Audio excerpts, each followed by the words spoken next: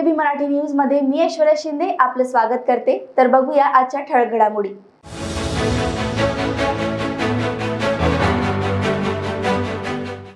वर्धेत भरवण्यात आली खासदार सुप्रिया सुळे यांची पत्रकार परिषद. भाजपवर निशाणा साधत केला खोचक प्रश्न. भाजप विरोधी पक्षांवरच ईडीचा प्रहार का?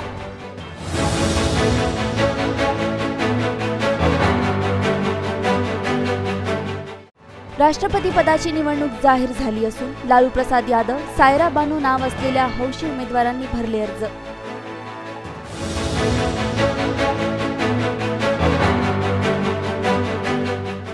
आणि अलिबागमधील पीएनपी नाट्यगृहाला दुरुस्तीचे काम सुरू असताना लागली भीषण आग. सुदैवाने नाट्यगृहात कोणतेही कार्यक्रम नसल्यामुळे टळली जीवितहानी.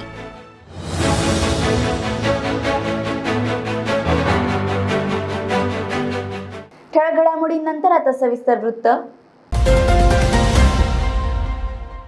राष्ट्रवादी काँग्रेसच्या खासदार सुप्रिया सुळे या बुधवारी जिल्ह्याच्या दौऱ्यावर असताना त्यांनी सेवाग्राम आश्रमाला भेट दिली. त्यानंतर शासकीय विश्रामगृहामध्ये दुपारी पत्रकार परिषद झाली. पत्रकार परिषदेमध्ये त्यांनी पत्रकारांनी विचारलेल्या प्रश्नांना उत्तरे दिली. नितेश राणे यांच्या ट्विटबद्दल विचारल्यास माझा संविधानावर पूर्ण विश्वास आहे. त्याच्यामुळे कोणी जर टीका केली तर त्यावर गैर काय आहे. तो सगळ्यांचा अधिकार आहे. का त्यांनी करू नये टीका? भाजपाच्या विरोधातले जे पक्ष आहेत त्या पक्षांच्या नेत्यांवरच हा प्रहार ईडीचा कसा होतो हा माझा प्रांजळपणे प्रश्न केंद्राला आहे असे त्यांनी म्हटले. सेंटरच्या आणि काही सेवाग्राम पावना राष्ट्र आणि माझ्याकडे वैयक्तिक ॲक्टिव्हिटी त्या निमित्ताने मी आज वर्ध्याला आले. सगळी कामं उठून मी आज आपल्याशी संघटनेतल्या माझ्या सगळ्या सहकार्यांची ॲक्टिव्हिटी घेऊन नागपूरला जाणार आहे जवाई सेंटरच्या माध्यमातून महिला सबलीकरण वाचन आणि युवा पिढीच्या समोरची आव्हानं अशा अनेक विषयांवर आम्ही काम करतो. पुस्तकं त्याचे त्याच्यावर चर्चासत्र एक्सटर्नल म्हणजे चव्हाण साहेबांना जे जे विषय जिवाळ्याचे होते त्या जिव्हाळ्याच्या विषयांमध्ये काम चव्हाण सेंटर करतं गेले पस्तीस वर्ष संस्था महाराष्ट्रात काम करते. शिक्षण महिला धोरण युवकांचे प्रश्न सांस्कृतिक वारसा महाराष्ट्राचा. दिव्यांग आणि आज कोविड आणि पोस्ट कोविडच्या स्कीम्स आहेत आरोग्याच्या त्या सगळ्याचं मोजमापन एक ऑडिट म्हणून चव्हाण सेंटर गेले अनेक वर्ष काम करते आणि त्याचा एक भाग म्हणून आजचा हा दौरा नियोजित केलेला आहे तुम्हाला काय विचारायचं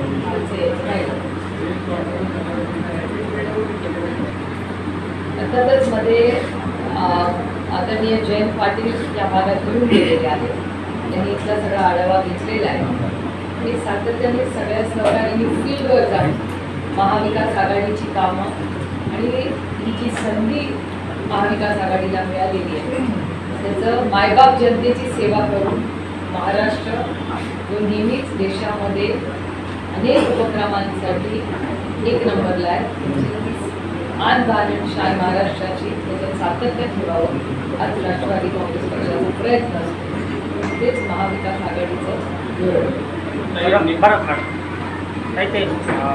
मागील काळात मान्य सुरेशजी देशमुख यांना लोकसभेची तिकीट देण्यात यावी अशी एक मागणी होती. त्या संदर्भात पक्षाने काही निर्णय घेतला आहे. माझ्या कानामध्ये चर्चा आलेली नाही. जेव्हा आमची एक प्रक्रिया असते पक्षाची जे जे इच्छुक असतात त्यांनी पक्षाकडे मागणी करायची असते. पक्षाकडे एक कमिटी आहे. त्या कमिटी त्याचा पाठपुरावा करून फायनल निर्णय ती कमिटी घेतल्याशी राष्ट्रवादी काँग्रेस पक्षाची पद्धत आहे. त्याच्यामुळे अर्थातच तोच प्रोसेस पुढे चालू करावा काही निलेश राणेंनी ट्विट केलं आहे. त्यामध्ये त्यांनी म्हटलं आहे की नातेवाईकांना भलतीच तडफड झाली. काल अजित पवारांना बोलू न दिलं त्याच्यामुळं. काहींनी या वारकऱ्यांच्या कार्यक्रमाला गालबोट लावला. अशी टीका तुमच्यावर केली आहे. काय सांगा आमचं सरकार माझा संविधानावर पूर्ण विश्वास आहे. त्याच्यामुळे एखाद्या व्यक्तीने कुणावर टीका केली की त्याच्यात गैर काय तो अधिकार आहे तुमचा. हा त्यांनी करू नये माझ्यावर काल आशिष शेलावने आपल्या आपल्या विरोधात टोला मारला की अं, ताईंनाही अं, शासकीय कार्यक्रम आहे किंवा नाही आहे ही माहिती नाही ताई नव्हती. त्यामुळे ताई बोलल्या. काय सांगाल तुम्ही? मी त्यांचं पूर्ण ऐकलेलं नाही. तुम्ही म्हणता तसं ते बोललेलं नाही. मी जे टी व्हीवर पाहिलं त्याच्यात असं बोललेलं नाही. मी जे टी व्हीवर पाहिलं त्याच्यात आशिष शेलार असं म्हणाले की हा संतांचा कार्यक्रम आहे. त्याला कोणी गालबोट लावू नये असं ते म्हणाले.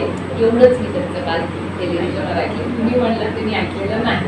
त्याच्यामुळे मी जे मी ऐकलेलं नाही किंवा वाचलेलं नाही त्याच्यावर बोलणं माझी जेवढी जबाबदार काय प्रतिक्रिया अर्थातच हे महाराष्ट्राच्या माणसाचं एक नाव येत आहे. त्यातून राष्ट्रवादी काँग्रेस पक्ष महाविकास आघाडीचं ते त्याचं नाव पुढे एक कन्सेन्सिस कॅन्डिडेट म्हणून त्याचा विचार होतोय हीच आमच्यासाठी खूप मोठी पोचपावती आहे. आहे. याचा मी जाहीर निषेध करते.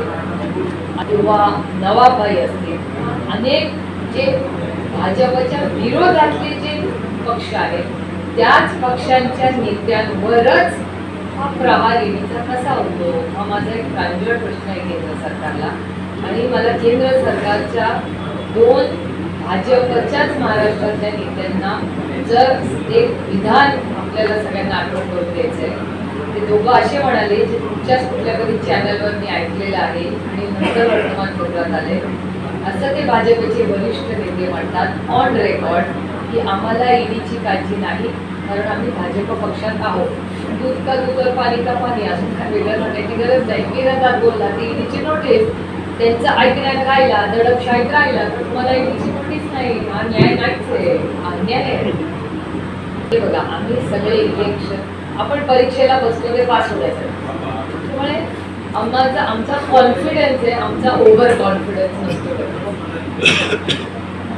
उपमुख्यमंत्री अजित पवार यांचं झाडांवर किती प्रेम आहे ते आपल्याला सगळ्यांनाच माहिती आहे.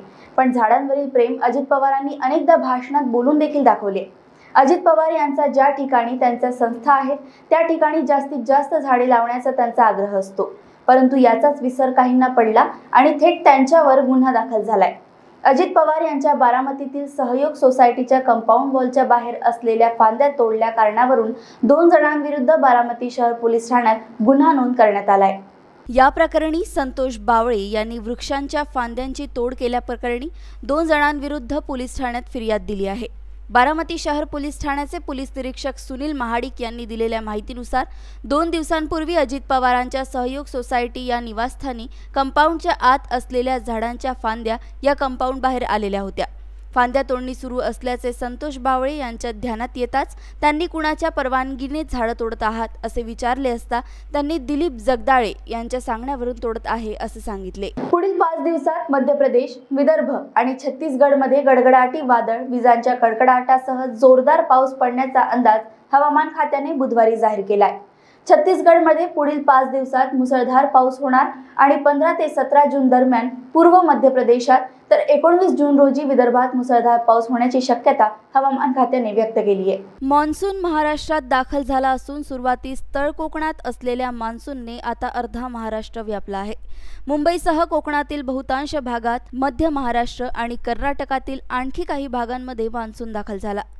मान्सून राज्यात दाखल झाल्याने राज्यात पाच दिवसांसाठी मुसळधार ते अतिमुसळधार पावसाचा इशारा देण्यात आला होता. कोकणात पावसाची तीव्रता ही जास्त असण्याची शक्यता असल्याचे हवामान विभागाने वर्तवली आहे. भारतीय हवामान विभागाच्या अंदाजानुसार गुरुवार दिल्ली आणि हरियाणामध्ये हलका ते मध्यम पाऊस आणि मेघगर्जनेसह पाऊस पडण्याची शक्यता आहे. आय एम डीने बुधवारी माहिती दिली की उत्तर दिल्ली उत्तर पश्चिम दिल्ली पश्चिम दिल्ली सोनीपत खारखोडाच्या निर्जन ठिकाणी आणि लगतच्या भागात हलका ते मध्यम पाऊस आणि सोसाट्याचा वारा येऊ शकतो. आय एम डीने म्हटले आहे की तीस ते चाळीस किलोमीटर प्रति तास वेगाने वारे वाहण्याची शक्यता आहे.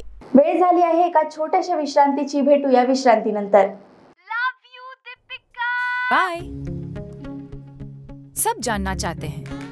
मेरा फेवरेट कलर मेरा फेवरेट डेस्टिनेशन मेरी फेवरेट डिश पर कोई ये नहीं पूछता कि फेवरेट डिश मैं बनाती कैसे हूँ। अरे यार जिसे टेस्टी खाना पसंद है वो अच्छे टेस्ट तक पहुँच ही जाता है। सुरुचि मसाले। खाने में हो रुचि तो घर लाइए सुरुचि। अपने सपनों की उड़ान भरने की इच्छा तो हर किसी की होती है। पर पंख भी तो मज़बूत होने चाहिए। जो देता है flywheel aviation academy flywheel aviation academy एक ऐसा इंस्टीट्यूट है जहाँ पर एयरलाइंस एंड एयरपोर्ट हॉस्पिटैलिटी और टूरिज़्म मैनेजमेंट साथ ही यहाँ campus interview guidance by industry expert practical training at airport expert faculty personal grooming जैसे कई सारे बेनिफिट्स आप पा सकते हैं। Flywheel aviation academy one degree three job opportunities flywheel aviation academy gives you a degree or diploma with a job. Flywheel Aviation Academy, 365 Gandhinagar, LAD College Square, beside Karnataka bank Nagpur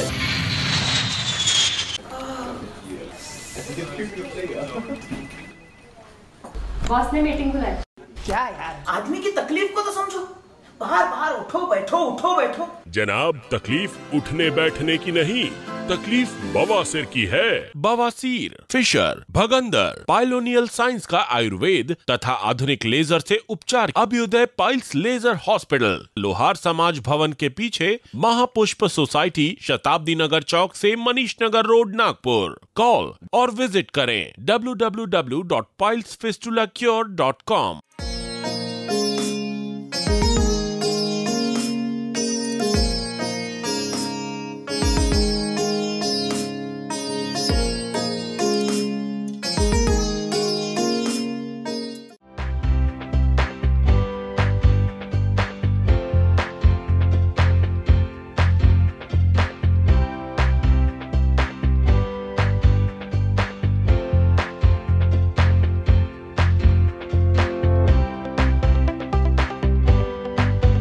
विश्रांतीनंतर आपलं स्वागत.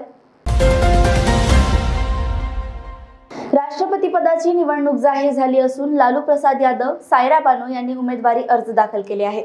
मात्र यांचा राजकारण सिनेसृष्टीशी काहीही संबंध नसून हौशी उमेदवार आहेत. देशात राष्ट्रपती निवडणुकीची घोषणा झाल्यानंतर सत्ताधारी आणि विरोधकांमध्ये उमेदवार निवडीवरून चर्चा बैठकांना सुरुवात झाली आहे.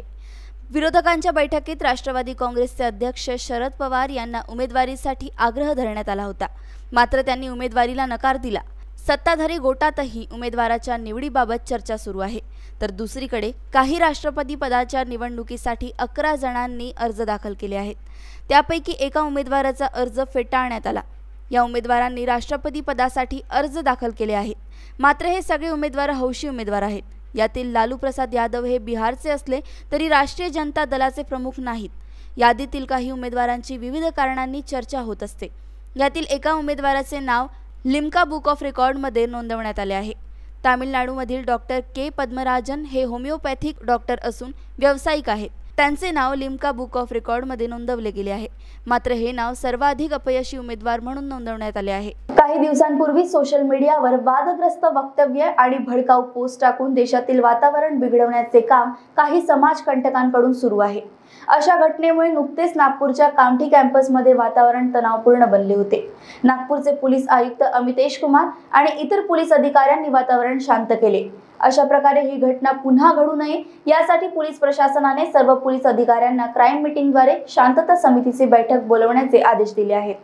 पोलीस प्रशासनाला मिळालेल्या आदेशानंतर पोलीस अधिकारी मनोहरजी कोटनाके यांनी शांततेची बैठक घेऊन या प्रकरणाला आळा घालण्यासाठी पोलीस प्रशासनाला सहकार्य करण्याचे आवाहन करण्यात आले. पारडी पोलीस ठाण्यात ठाणेदार मनोहरजी कोटनाके यांच्या मार्गदर्शनाखाली शांतता कमिटी बैठक बोलवण्यात आली. या बैठकीला सामाजिक कार्यकर्ते गुड्डू रहांगडाले कापसी ग्रामपंचायतीचे सरपंच सूरज पाटील उपसरपंच अक्षय रामटेके सामाजिक कार्यकर्ते पृथ्वी मोटघरे प्रमोद पटले कृष्णा चावके मुस्लिम समाजाचे पदाधिकारी पारडी पोलीस ठाण्याचे दादाराव कारेमोरे आदींसह शांततेचे कार्यकर्ते उपस्थित होते. अलिबाग येथील पीएनपी नाट्यगृहाला भीषण आग लागली आहे. या आगीत नाट्यगृहाचे मोठे नुकसान झाले आहे.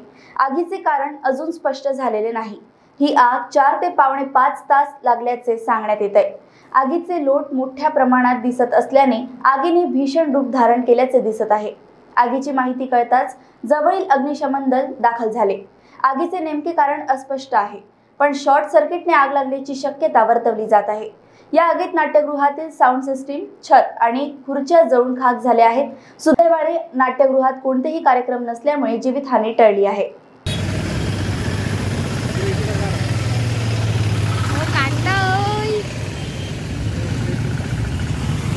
चला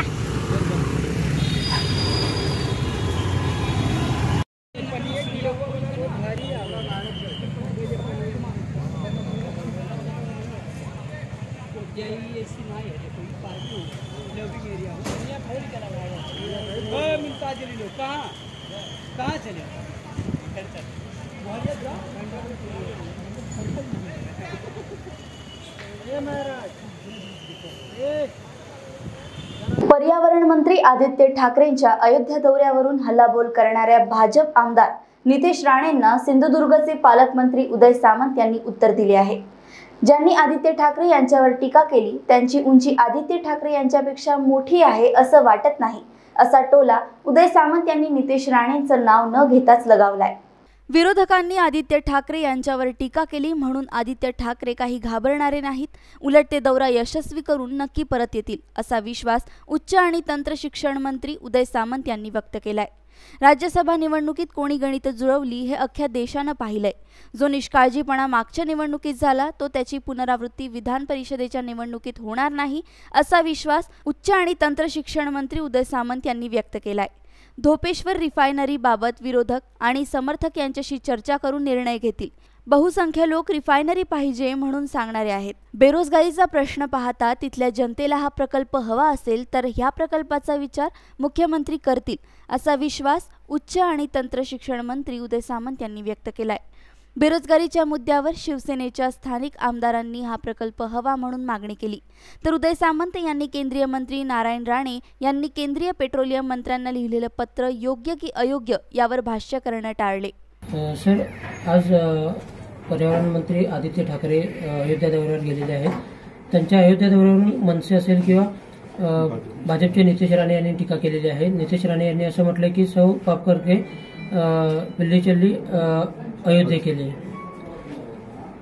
मला असं वाटतं की कुणी टीका केली काय केली मला याच्याशी काही संबंध नाही. कारण ज्या उद्देशानं आदित्य ठाकरे पर्यावरण मंत्री हे अयोध्येला गेले ते एक आनंदाच्या वातावरणामध्ये गेलेले आहेत. आपल्याला माहीत असेल की काही कालावधीपूर्वी शिवनेरीची किल्ल्याची माती घेऊन स्वतः महाराष्ट्र राज्याचे मुख्यमंत्री हे अयोध्येला गेलेले होते. आणि त्याच्यानंतरच्या घडामोडी कदाचित योगायोगानं असतील हे आपल्या सगळ्यांना माहिती आहे. अयोध्येमध्ये मंदिर बांधताना शिवसेनेची नक्की भूमिका काय असणार आहे हे देखील त्या ठिकाणी उद्धव ठाकरे साहेबांनी विशद केलेलं होतं. आणि ह्या सगळ्या योगायोगानं कदाचित घटना घडलेल्या असतील त्याचा एक आनंद साजरा करण्यासाठी आदित्य ठाकरे त्या ठिकाणी गेले आणि ज्यांनी त्यांच्यावर टीका केली त्यांची उंची काय आदित्य ठाकरे साहेबांनी एवढी मोठी आहे असं मला वाटत नाही. आणि म्हणून त्यांच्या टीकेकडे मी दुर्लक्ष करतो. दुसरी महत्वाची गोष्ट अशी आहे की विरोधकांनी टीका केली. म्हणून मला असं वाटतं की आमचे आदित्य ठाकरे पर्यावरण मंत्री हे खचतील तिथं जाणार नाहीत. अशा पद्धतीचं घाबरतील असं काही कुठं झालेलं नाही तर ते अयोध्येचा दौरा यशस्वी करून महाराष्ट्रामध्ये परत येतील.